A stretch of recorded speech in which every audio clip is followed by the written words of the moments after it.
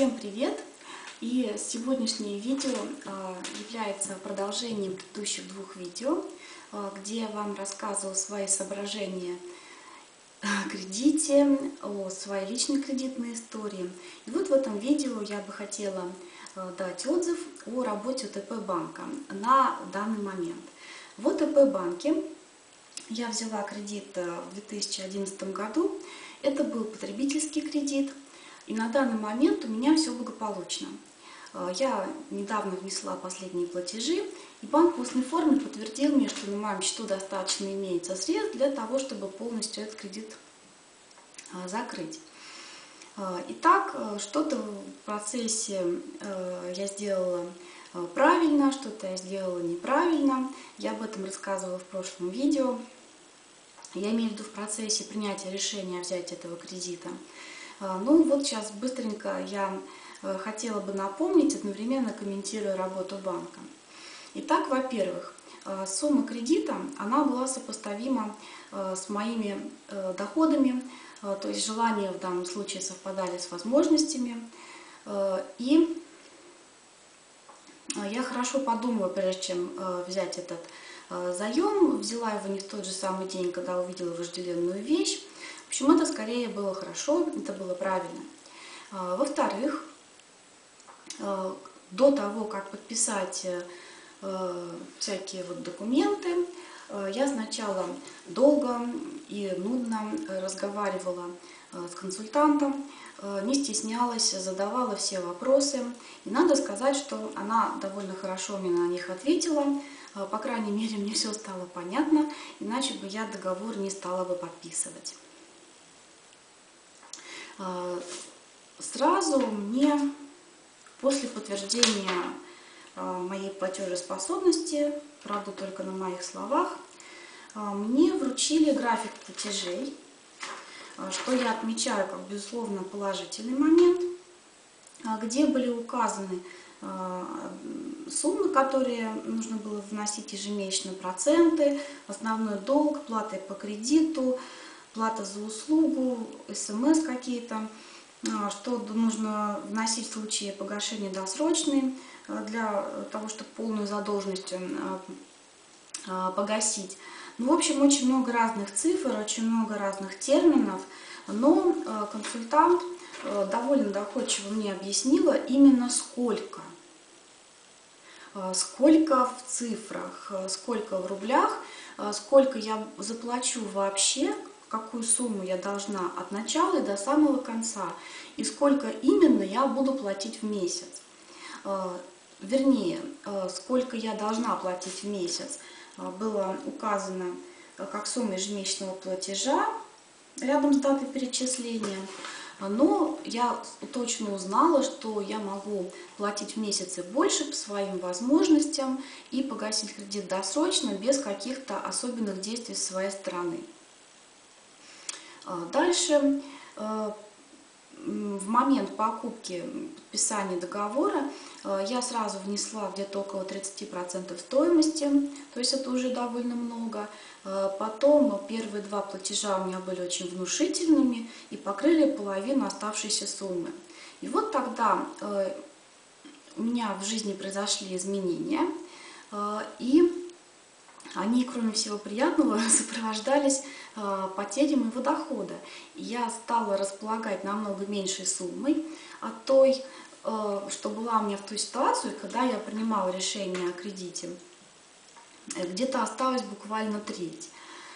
Вот. Но, тем не менее, я платила понемногу и все-таки выплатила досрочно свой кредит, как и предполагала, что досрочно, но намного позже, чем предполагала. Вот, на данный момент э, мне осталось получить э, выписку в отделении банка, чтобы э, их слова о том, что банку я ничего не должна, и что банк не имеет ко мне никаких претензий, что все в порядке, вся история закрыта на, пуча... на, на бумаге с гербовой печатью. Вот.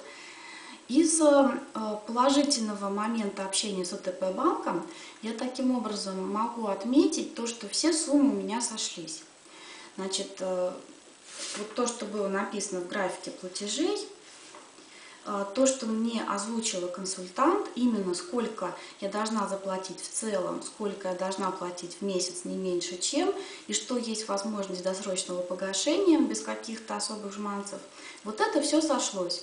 Э, и об этом я вам говорю, даю свой положительный отзыв. А теперь неприятный момент. Для того, чтобы связаться с банком, а, нужно было преодолеть целую массу трудностей. А, ОТП банка какая-то совершенно ненормальная а, горячая линия. Позвонить туда можно, дозвониться практически нельзя. А если можно дозвониться, то очень сложно узнать ответ на интересующий вас вопрос. В общем, сначала я позвонила по телефону, который указан у меня в документах. Там я попала на автоответчик, который Э, говорит нажмите 1 или нажмите 2, э, потом он говорит э, забейте цифры договора, цифра 1 еще там есть, надо каким-то образом стереть в этот момент с какой-то вероятностью, в каких-то случаях да, в каких-то случаях нет, связь просто прерывалась. Вот, потом, после успешного все-таки занесения десятизначного номера договора, нужно было ввести последние три цифры паспорта. После этого автоответчик говорил, что ну вы не сделали никаких активных действий, до свидания. Вот. Потом я стала звонить уже по другим телефонам, которые я нашла на официальном сайте ОТП банка. Вот сначала я дозвонилась до живого консультанта, попросила мне ответить на вопрос, она сказала, да, сейчас я переключу вас. И она переключила меня на тот же автоответчик я стала искать еще какой-нибудь номер телефона. Вот, дозвонилась до э, отдела кредитов, но не потребительских, а каких-то других. Вот, и там уже консультант э, мне сказал, что пользоваться горячей линией совершенно не стоит, а стоит дожидаться ответа другого живого консультанта, желательно в отделе потребительских кредитов, мне дал номер. Я позвонила в отдел потребительских кредитов и ничего подобного.